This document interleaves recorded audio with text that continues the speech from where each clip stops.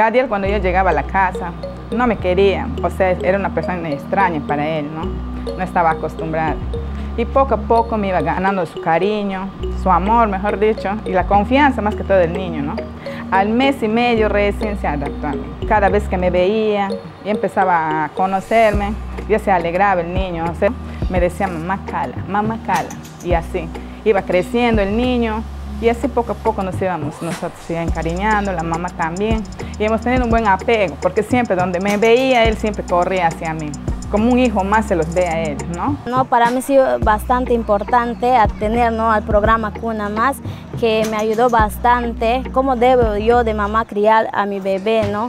Más que todo nos da ese ánimo, ¿no? De seguir eh, para poder enseñar a nuestros hijos, ¿no? El año pasado él eh, concursó en, el colegio, ¿no?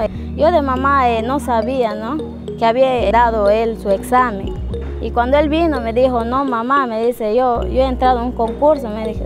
Yo le digo, ¿cómo así? Le digo, sí, mi nombre está ahí en el colegio, me dice, mi nombre está pegado ahí. Yo no le creía a Gadiel. Y su papá le toma foto, ¿no? Y ahí sale pues su nombre y que había participado en primer lugar en el concurso de matemáticas. Bueno, yo les digo a todas las mamás ¿no? que el programa CUNAMAS es muy bueno ¿no? para que puedan nuestros hijos puedan desarrollarse desde muy pequeños, ¿no? A inculcarlos en el, camino, ¿no? Correcto, ¿no? Que ellos tienen que, aprender desde muy, desde muy pequeños, ¿no? Gracias al gobierno por su apoyo que nos brinda cada día, ¿no? Y que el programa CUNAMAS siga eh, desarrollándose más ¿no? para todos los niños que necesitan.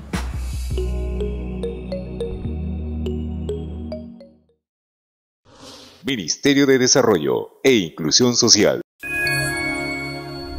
Bicentenario del Perú 2024. Compunche Perú, Gobierno del Perú.